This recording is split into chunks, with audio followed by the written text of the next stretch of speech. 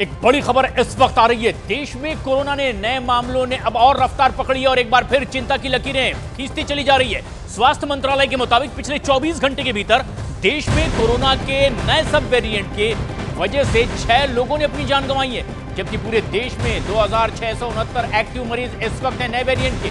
अकेले केरल में 300 नए मरीज़ मिले हैं, जो कि कोरोना के इस नए सब वेरिएंट के पीड़ित बताए जा रहे हैं। और देश में अब कोरोना से पीड़ित लोगों की तादाद तेज़ी से बढ़ती चली जा रही है। पिछले 24 घंटे के भीतर ही कोरोना की वजह से छह लोगों की मौत हो चुकी है। केरल में दो, पंजाब में एक और तीन लोगों की मौत हुई है। केरल में दो, कर्नाटक में।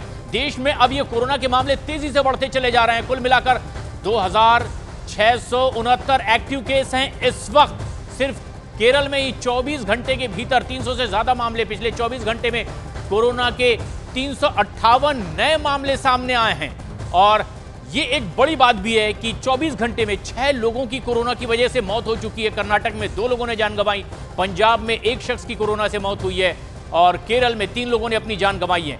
और जैसे जैसे वक्त आगे बढ़ रहा है, कोरोना की तादाद, मरीजों की तादाद बढ़ती चली जा रही है। कोरोना का नया सब वेरिएंट तेज़ी से और अपने पैर पसारता हुआ दिखाई दे रहा है।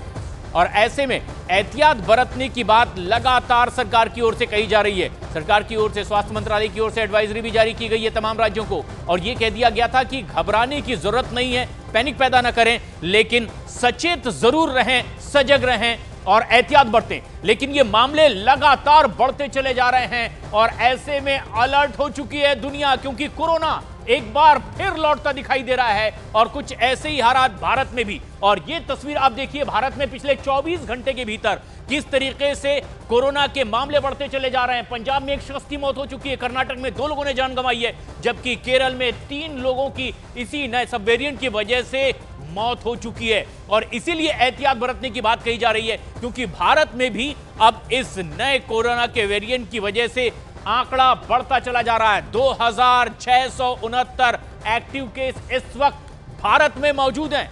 कर्नाटक में बानवे, केरल में 2341 अकेले केरल में ही बड़ी तादाद है। गुजरात में 23 महाराष्ट्र में 45 पंजाब में 6 दिल्ली में तीन, उत्तर प्रदेश में तीन, तमिलनाडु में भी नवासी कोरोना के नए मरीज़ हैं। तेलंगाना में 14 मरीज़ पाए गए हैं, हरियाणा में एक मरीज़ पाया गया है। यानी देश भर में अभी तक के दो हज़ार छह सौ उनहत्तर एक्टिव केस हैं इस कोरोना के। और ये देश भर का आंकड़ा आप देख रहे हैं किस तरीके से यहाँ मरीजों की तादाद, लेकिन सबसे ज़्यादा चौंकाने वाला आंकड़ा है केरल का।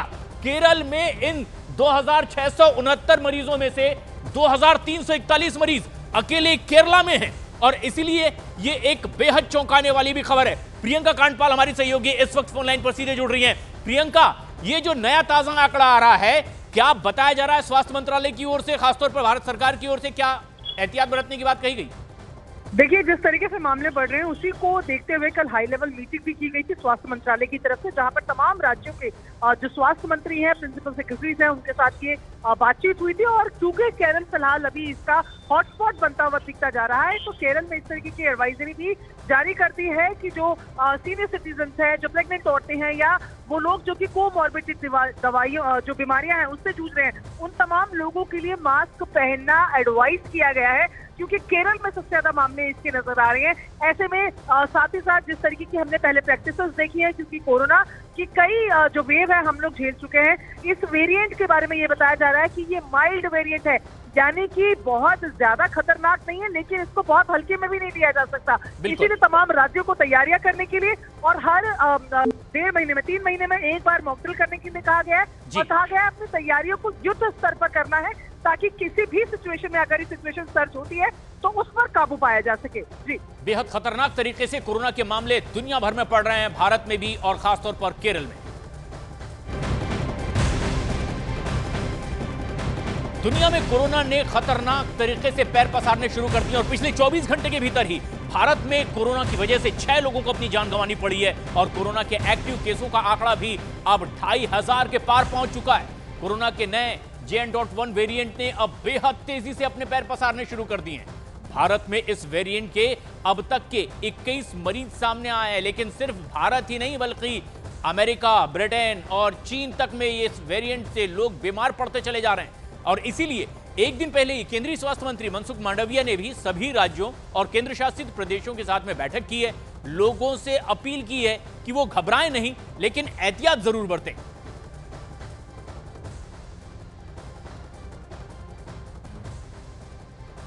कोरोना के मामले बढ़ते चले जा रहे हैं, लेकिन सतर्क रहना बहुत ज़रूरी है। केंद्र सरकार ने लोगों से मास्क पहनने भीड़ भाड़ वाली जगहों से दूर रहने की भी अपील की है, क्योंकि नया variant J N dot one तेज़ी से फैलता चला जा रहा है। बीते दो हफ़्ते में ही वायरस ने जितने भी सैंपल लिए गए हैं, लैब में जाँच के लिए उन्हें भेजा गया है।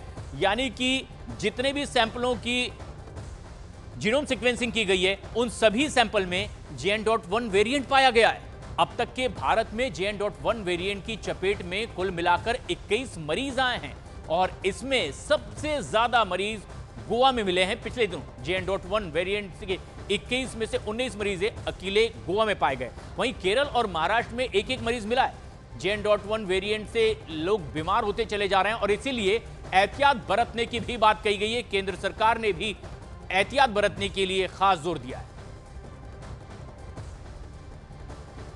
2019 से लेकर के अब तक के कोरोना वायरस लगातार अपना रूप बदलता चला जा रहा है वक्त वक्त पर और बार बार उसके नए वेरिएंट सामने आते जा रहे हैं। और अब जेन डॉट वन वेरियंट भी एक नया वेरिएंट है जो कि ओमिक्रॉन स्ट्रेन से ही निकलकर सामने आया है। जेन डॉट वन वेरियंट का पहला मरीज़ यूरोप के देश लग्जमबर्ग में मिला था और वहीं से इसकी चर्चा भी तेज़ी से आगे बढ़ी। वहाँ से फैलते फैलते सितंबर में JN dot one variant America तक पहुँच गया। और वहाँ हाल ही में ये एक और मरीज़ पाया गया है जेएन डॉट वन का, अमेरिका में कोरोना का सबसे तेज़ी से फैलने वाला वेरिएंट अब यह बन चुका है। इसके अलावा अमेरिका की स्वास्थ्य एजेंसी ने भी बताया है कि वहाँ जितने कोरोना मरीज़ हैं, उनमें 15 से 29 प्रतिशत को बीमार करने वाला यही J N dot one variant है। अमेरिका के साथ ही साथ चीन और ब्रिटेन में भी J N dot one variant ने अब लगातार पैर पसारने शुरू कर दिए हैं और लोगों को इससे दिक्कत हो रही है। हालाँकि डब्ल्यूएचओ यानी विश्व स्वास्थ्य संगठन ने साफ़ कर दिया है कि इससे घबराने की ज़रूरत नहीं है, क्योंकि मौजूदा vaccine JN dot one variant के खिलाफ बेहद कारगर है। तो ये वायरस फैल ज़रूर रहा है, लेकिन सचेत रहने की ज़रूरत है, इससे घबराने की नहीं, विश्व स्वास्थ्य संगठन ने भी इसी ओर इशारा किया है।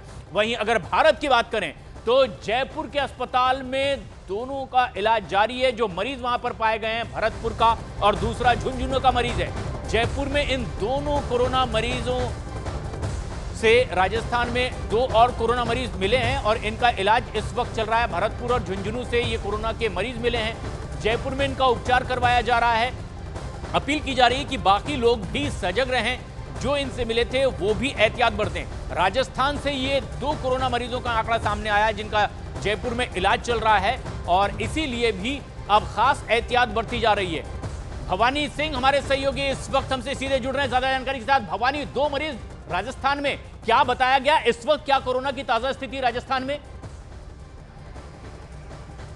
देखिए, प्रशांत चार मरीज़ हो चुके हैं। दो जैसलमेर के अंदर आए थे कल और दो आज जयपुर के अंदर आए थे। दोनों जो जैसलमेर के थे, उनकी भी जिनोम सीक्वेंसिंग कराई जा रही है और जयपुर वालों की भी जिनोम सीक्वेंसिंग कराई जा रही है, जिससे कि ये तय हो सके कि ये जे एम वेरियंट के ही मरीज़ है या नहीं है। शाम तक रिपोर्ट आ जाएगी, तभी तस्वीर साफ़ आ जाएगी, लेकिन मोटे तौर पर ऐसा लग रहा है कि जे एम वन के हैं, क्योंकि हमने एक्सपर्ट से बात की है, जो कोविड को लेकर देख रहे हैं इस वक्त। और इस बीच में राजस्थान सरकार सतर्क हो गई है क्योंकि चिंता वाला मसला है। इसके लिए खास तौर पर 26 तारीख को तय किया गया है कि मॉक ड्रिल कराई जाएगी राजस्थान के सभी अस्पतालों के अंदर, जिसमें तैयारियों का जायजा लिया जा सके कि ऑक्सीजन पर्याप्त है, बेड पर्याप्त है और एक वापस, क्योंकि जो स्टाफ है, डॉक्टर्स हैं, उनको उस तैयार तैयार रहने के लिए अलर्ट रहने के लिए कहा गया गया। आज की जो एडिशनल चीफ सेक्रेटरी है हेल्थ उन्होंने एक एडवाइजरी भी जारी कर दी है अस्पतालों के लिए और आम लोगों के लिए भी कि वो कोविड अप्रोप्रिएट बिहेवियर का पालन करें। जी एहतियात बरतने की बात कही गई। शुक्रिया।